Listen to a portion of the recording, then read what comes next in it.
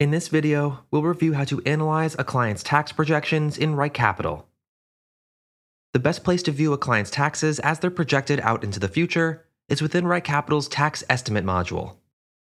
Here, you'll find three different charts that can help illustrate a client's tax rates over the course of their plan.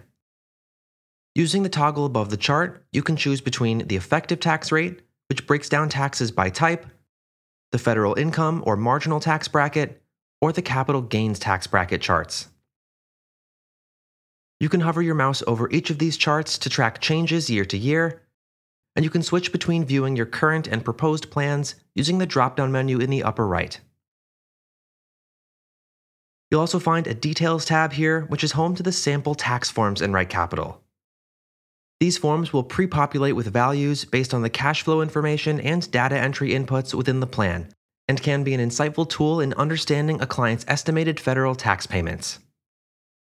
Using the drop down menus in the upper left, you can toggle between the Simplified 1040, Schedules 1 through 3, Schedules A, B, and D, as well as the Form 6251 for AMT and the Taxable Social Security Worksheet.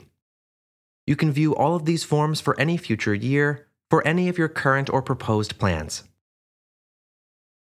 For more information on taxes in Right Capital, please don't hesitate to take a look at our Help Center or to reach out to our advisor support team for more details.